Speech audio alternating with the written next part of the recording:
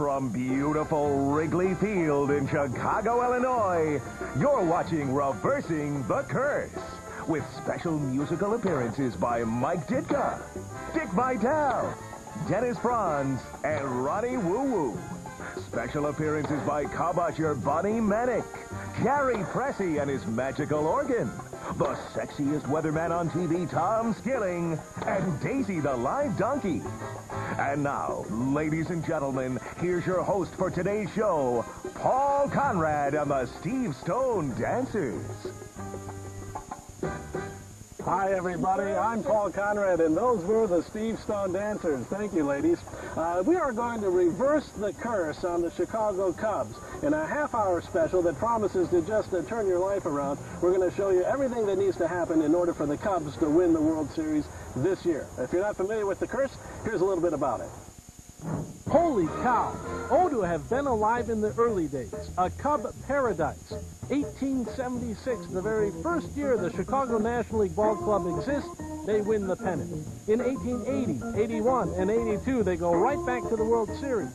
After a brief drought, the Cubs returned to the World Series in 1906 and won back-to-back World Championships in 1907 and 1908. In 1916, more good news. The Cubs move into Wrigley Field, and Cubs owner Charles Weeghman is the first owner in baseball to allow fans to keep foul balls.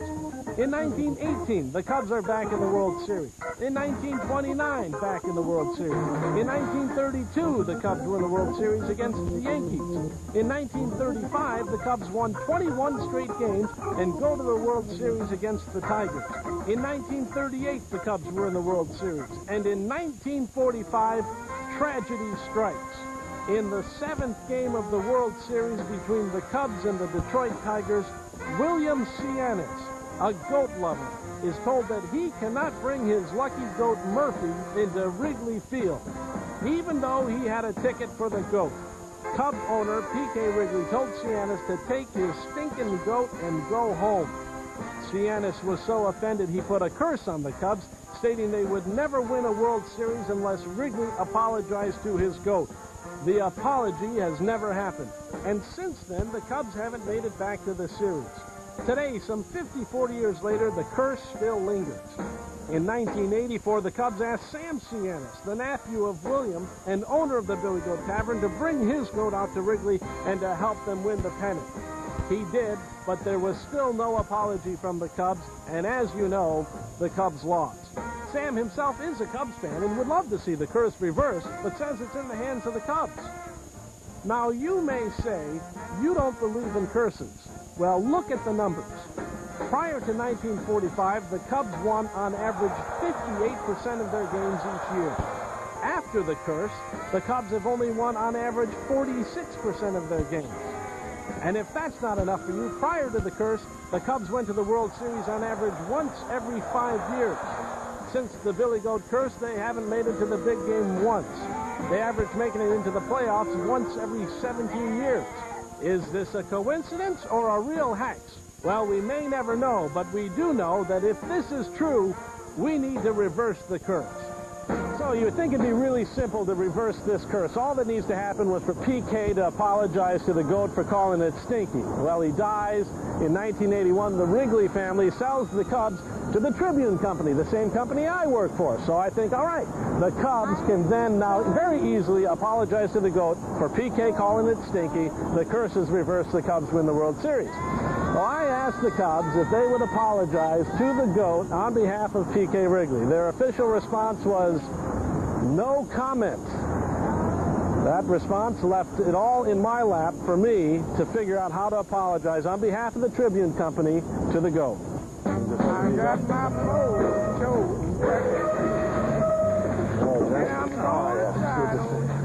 The only thing I could think of to reverse the curse was to try to get Sam Sianis to understand where the Tribune-owned Cubs were coming from.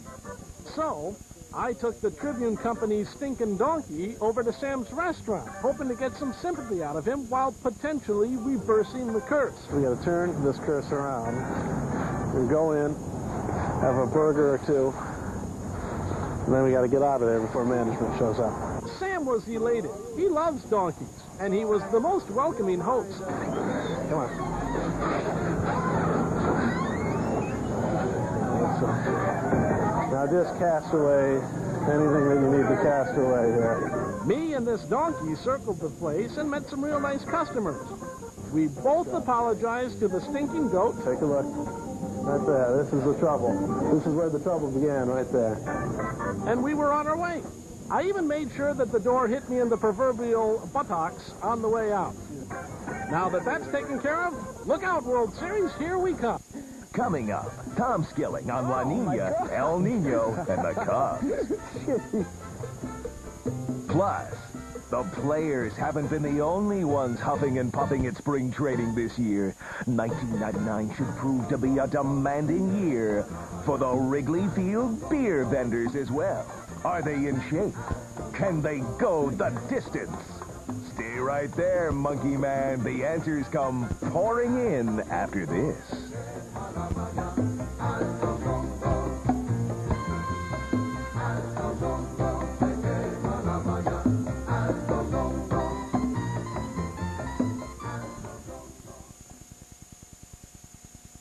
Mommy!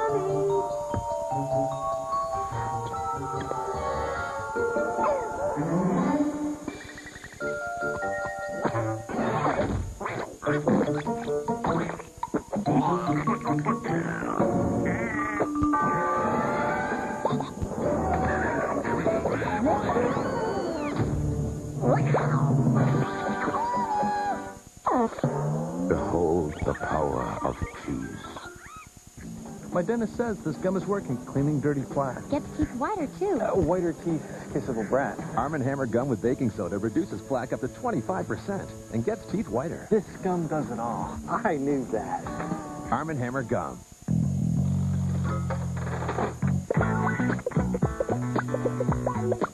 Looking for a new way to spice up your boneless, skinless chicken?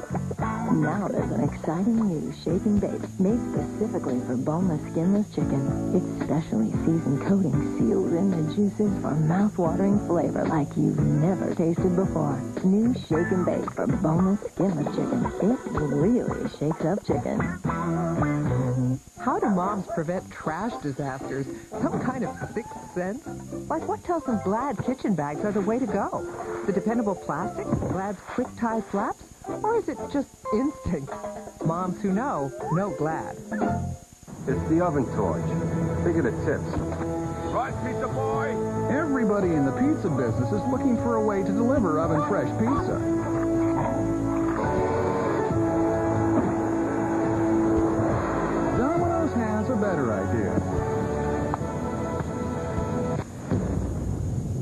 Domino's Heat Wave is like a portable oven for the best tasting Domino's ever. Get two medium, two topping pizzas and a two liter bottle of Coke for $13.99.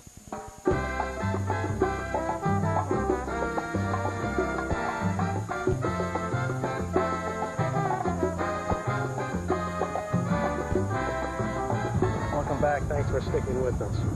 You know, uh, reversing a curse can sometimes really be rather ugly, but uh, sometimes you have to do what you have to do.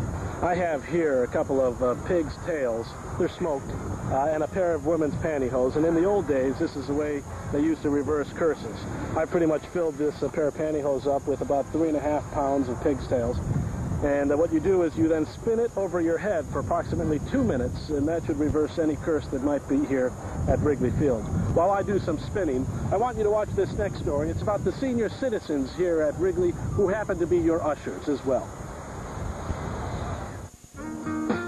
They're the Chicago Cubs senior ushers. They're rugged, bristly, and lovable. A collection of humanity with names like Lois, Ole, Ruth, and Bunny. They'll help you find your seat and make sure you enjoy the game. We're like a family.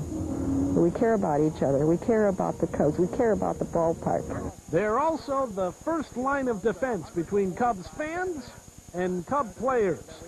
They're a gaggle of tough cookies like 80-year-old Pete Stitch. We don't go into the physical stuff uh, at all. Once in a while, we may get pushed around, but uh, there's people here that take care of them, and they, they don't mess around. Pete, like the rest of the crew, is scrappy. They've all been knocked around and hit by foul balls. Well, I've been pushed around. Got black and blue, and I've been knocked off of my stool several times as people went for a foul ball. And I've been hit, and I've been near me where they patrons try to get the ball, they spill their beer and whatnot, and Yeah. try to get over the, the uh, seat. They knocked me over the seat. Where were you hit? On my arm. Not too bad, no. It's just a glancing ball that 78-year-old Emily Hitsky was recruited through her church to start ushering at Wrigley 11 years ago. She's gotten used to some of the rougher fans. They ever call you names? Oh, yeah. Really? Not real pleasant ones all Really? the A lovely lady like yourself. well, they don't consider Some that pretty they- bad ones? Well, not too nice, let's yeah. put it that the way. one yeah. you wouldn't use around the church. Right. Mostly it's verbal abuse. yeah. And uh, the only thing they haven't called me yet is that uh, mother thing. Right, yeah. we use good judgment to know how to handle it. You're the first line of defense. That's right. Have you ever thrown a punch? No way. We're, we don't do that. I love people. And for the most part, this group is perfect. It's a rarity when someone gets onto the field. Do you deal with many streakers? I haven't. Uh, mostly they jump out on the field to do that. Yeah. You know. Yeah. That's got to be a highlight, though. Oh yeah, people like that, you know, and then, then they abuse you for trying to stop them. Sure. Yeah. Yeah. Is that one of the harder parts of the fan abuse? That's right. Now, the seniors love their jobs, and this year they're more excited than ever. You see, this year, after decades of fashion faux pas, the Chicago Cubs ushers have new uniforms. It's perhaps the very thing that's needed to reverse this losing curse. Just ask 76-year-old Ole Lease. I think they're so much of an improvement that it, it's given, a, I think, an entirely different image to the fans, and they're extremely comfortable and they're very attractive. I love the jackets. The jackets are great. You think this could turn it all around then for the Oh, Cubs? Yes. definitely. And so it's because of these brand new usher uniforms that you can begin to make plans for a World Series at Wrigley. Now, in preparation for this report, uh, I've studied every internet site on how you reverse the curse, how you turn around the hex. One thing I consistently came across was someone had to drink from the cup of the Cubs catcher. This is Steve Swisher's Swisher, so to speak. And I've got some ice cold Yoo-Hoo, and I am going to drink from the cup. And that should ensure the Cubs win the World Series. If you saw me do this and it made you a little bit thirsty, well, we have a special report now on the beer vendors and their spring training getting ready for Wrigley Field 1999. All right, come on. You guys got to get in shape here. We got a big season ahead of us. We got a lot, a lot of sales to do. I want you to get out there. I want you to hustle. I want you to try hard. I want you to sell everything you got. Now, let's go. Meet Mike Wisniewski. He's in charge of all of the beer vendors who work at Wrigley. All right, you guys ready? One time is it? Game time! Ho! Today, he's running some of the new vendors through his own spring training. 3-6, I don't know. You think there's hope?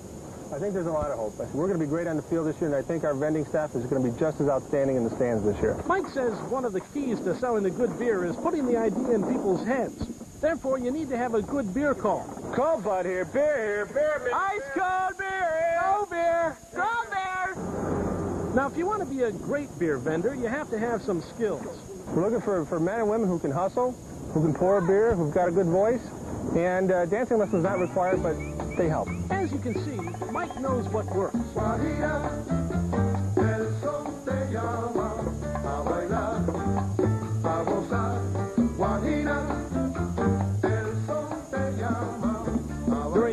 Typical spring training, Mike runs one of the hardest camps in the majors.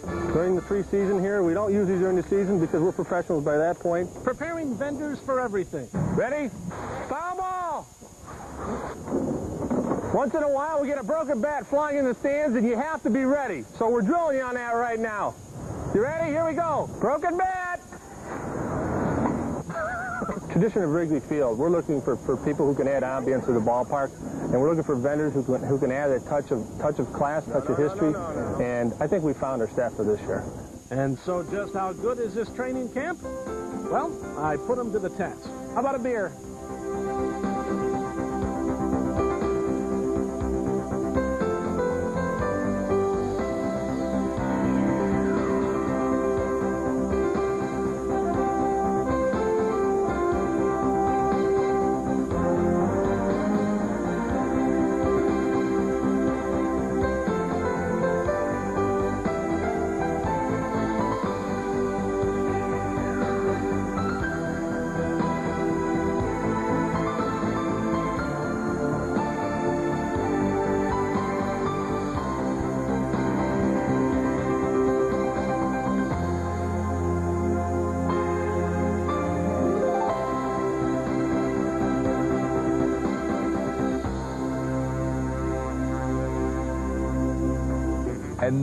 Tom Skilling on La Nina, El Nino, and the Cubs. You, you, know, back in 1945 when I first got here, uh, I started looking at that. And I found that in all of the seasons since 1945, in La Nina years, the Cubs won 46% of their games. Now, you know, I, I remember in 1969, that was an El Nino year. And the Cubs... Oh, boy.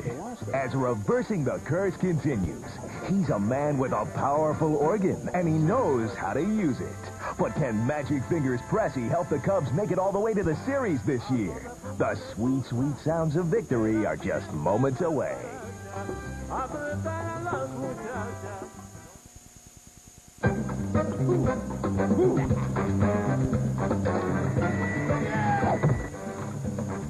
We all do dumb things.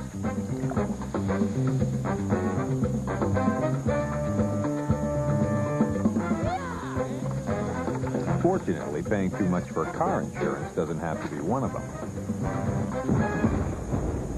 Geico Direct. A 15-minute call could save you 15% or more on car insurance. For maybe five years? For my degree? Here at DeVry, you can earn a four-year degree in just three. Will I learn what I need to know to get a job? Let me get back to you on that. At DeVry, we continuously update our programs with input from businesses. What about job placement? Well, everybody has that. At DeVry, over 9 out of 10 graduates obtain positions in career-related fields. For a higher degree of success, call 1-800-DeVry-11. Introducing Hungry Jack Honey Butter Biscuits. With just a taste of honey butter in each flaky, mouth-watering layer. They're sweet. But not too sweet. New Hungry Jack Honey Butter Biscuits. Overprotective of your food containers? How long will this loan be for? About a day. Preferences? What's that? Congratulations. You've been approved. Switch to new Gladware. At about 50 cents each, you'll get food containers you can use and still afford to lose. Lonely Hearts, once again baiting the trap with the special pasta and our favorite Parmesan. Gonna get me the chunk, chunk, that chunk. Whoa, oh, what is that? That is new. Well, that's not the chunk. I know, I know, come on. Oh, baby, nice shred. Our shred, he's not worthy. Introducing Kraft Shredded Parmesan Cheese. Fresh taste. No grating, no waiting. Can we open this? Oh, shut up and fight.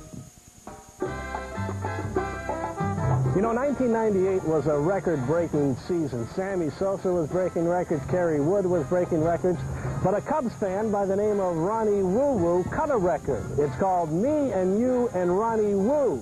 We had the chance to sit down and talk with Ronnie about his new album, and once you hear it, you'll hope that you can break it too.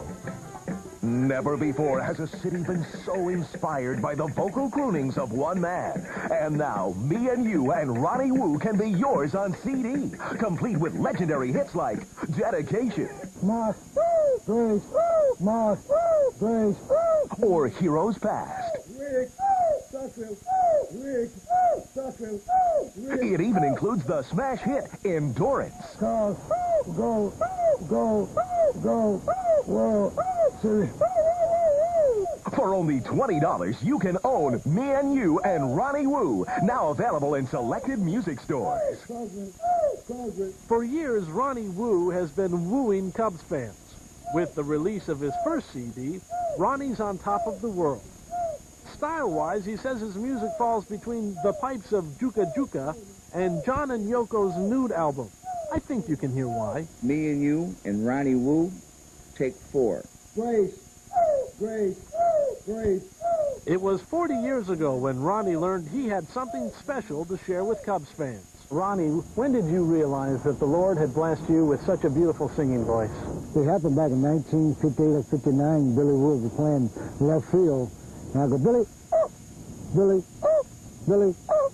And this something just came out. And then uh, it just something just came to me automatically. You know, I guess it was a gift from God, you know. Some call Ronnie's singing a blessing, while others call it a curse. Regardless, Ronnie's at peace with himself. There are some people who might say that uh, you've got a loose screw. What do you say to them? Well, you know, uh, no one's perfect. And all the elevator don't go to the top. But you could put me in that category, but still, uh, we all happy, you know, and uh, this is the way life is. We got to go on and enjoy what we, what we have and enjoy it. Now, Ronnie's a showman, and knowing when not to miss an opportunity, he favored us with one of his songs. Mazzell, Cubs, number one, World Series, 1999. That was beautiful. Thanks a million, Ron. Thanks for coming out here today. Thank you. The CD again is called Me and You and Ronnie Woo. I'm sure you're going to want to have it in your collection. In 1941, William Wrigley installed an organ at his ballpark, and the Cubs were the first major league team to have an organ played during the games.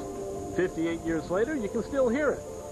Again, some would claim that that's a curse, but don't even try to tell that to Gary Pressy. He's the Cubs organmeister. I definitely disagree with that because organ music at a ballpark is tradition. You know, you get, you get batting practice, people having a hot dog, enjoying themselves in the sun and with the organ in the background. No, it, it's tradition, and I think it goes hand in hand. 1999 will mark a milestone for Gary. If all goes as scheduled, Old Magic Fingers will play his 1,000th game at the friendly confines. Over the last 13 years, he's been playing the hottest and hippest hits for all the fans to enjoy. Try to uh, combine, try to play something for everybody that would like. But this isn't like organ playing at the mall. Gary has a very specific mission. He tries to generate excitement from the fans and give inspiration to the players. I try to coordinate the names or like where they're from, and uh, it's, it's spontaneous. But it's not all spontaneous. This winter, Gary's been watching the Cub trades and has come up with some brilliant new songs for the players. Songs like Johnny Be Good for the Cubs' new pitcher, Jon Lieber. Get it? Jon Lieber, Johnny Be Good. We also have a new catcher, Benito Santiago. So for a little stretch, we're going to do Benny and the Jets.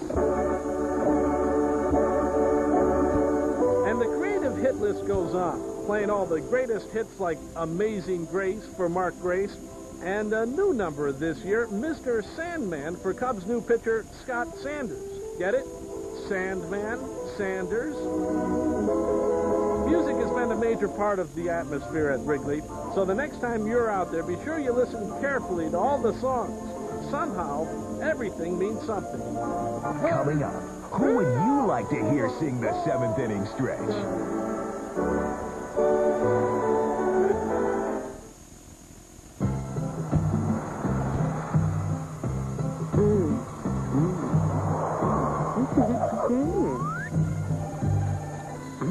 On reactions so far, we're so sure you'll love Kellogg's Nutri-Grain Twist bars, we'll give you your money back if you don't. Just send the bottom panel with the UPC barcode for a full refund. Guaranteed. How's that for a twist?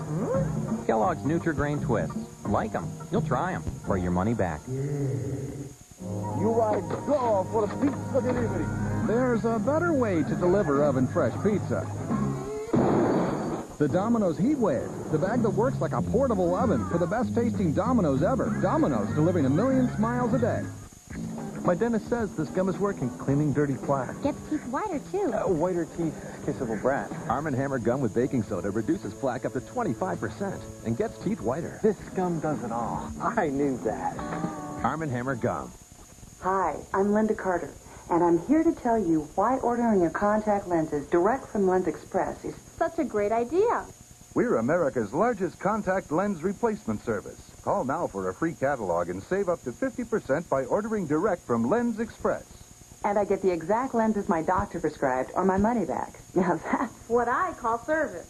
I couldn't do without. Lens Express. Call this number now for a free Lens Express catalog. Introducing Hungry Jack Honey Butter Biscuits. With just a taste of honey butter in each flaky, mouth-watering layer. They're sweet. But not too sweet. New Hungry Jack Honey Butter Biscuits. Overprotective of your food containers? How long will this loan be for? About a day. References? What's that? Congratulations. You've been approved. Switch to new Gladware. At about 50 cents each, you'll get food containers you can use and still afford to lose. Thanks, Mom. In 1463, William von Schnitzel, a German-born soccer player, wrote in his autobiography called The Curse is the Worst about how his soccer team faced one of the worst uh, hexes of all time. They lost 73 games in a row. The way he reversed the curse was to take bratwurst, attach them to jumper cables, then attach it to his automobile, and then took the worst and dropped it right into his shorts.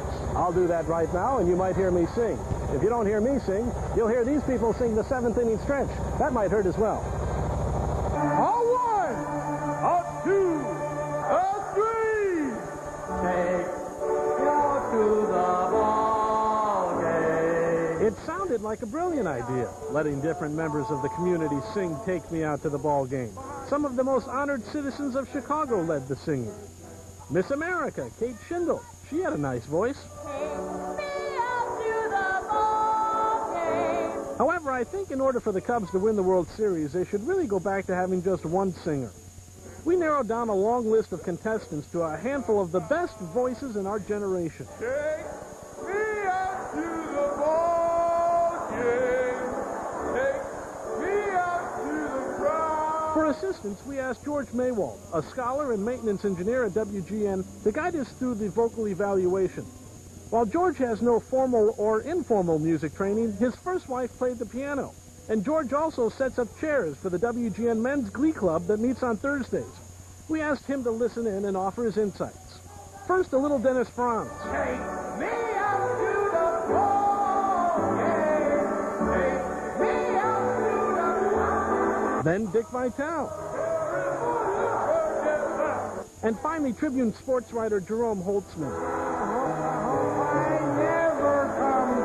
Well, I tell you, you know, that was great. You know, those people was born to sing. I like it very much. You yeah, think they were born to no, sing? Yeah, perfect. There seemed to be some consistency in the performers. It seemed like the best singers found the first note right off the bat, and that propelled them into even more greatness. Take me out to the ball game. Take me out to the crowd. How'd that sit with you? Uh, Oh, boy. Have you ever seen anything quite like that? No, never like that, you know. Well, if there'll be weather like that, you know, every day, we don't know what to do. We don't know how to dress. After viewing dozens of tapes, our first runner-up to sing Take Me Out to the Ball Game year-round is Tom Skilling. But the number one person on our list, one of the few people who could sing the song in less than 20 seconds, a man who could reverse any curse, he's a world-renowned tenor who will perform on opening day. Ladies and gentlemen, the coach. One and a two and a three.